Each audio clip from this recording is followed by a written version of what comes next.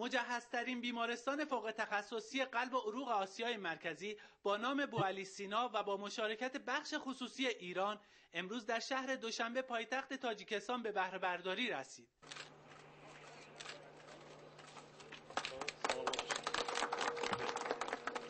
در مراسم گشایش این بیمارستان مدرن که جمعی از پزشکان ایرانی و تاجیک حضور داشتند امام علی رحمان رئیس جمهور تاجیکستان و علی اصغر شهردو سفیر کشورمان طی سخنانی سطح روابط دو کشور را بسیار عالی توصیف و بر لزوم توسعه هرچه بیشتر همکاری ها تأکید کردند. این بیمارستان هشت طبقه ای توسط شرکت ایرانی تجهیز گستر با سرمایه بالغ بر 14 میلیون دلار طی مدت 18 ماه ساخته شده است. من تبریک میگم به مردم تاجیک. که امشب قلب دوشنبه میتپد و آغاز به کار می‌کند.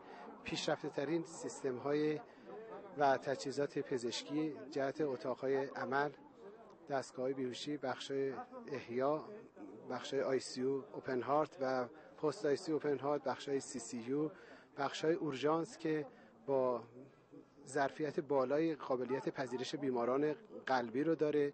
سیستم هایی رو طراحی کردیم که در شهر با تماس گرفتن با این مرکز می‌تونن به سرعت مریضاشون رو ما جذب کنیم و اقدام به درمان کنیم.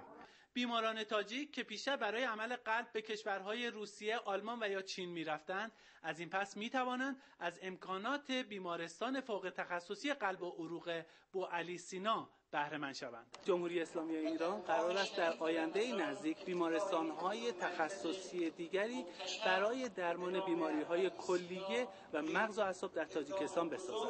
مهدی نجفور خبرنگار صدا و سیمای جمهوری اسلامی ایران دوشنبه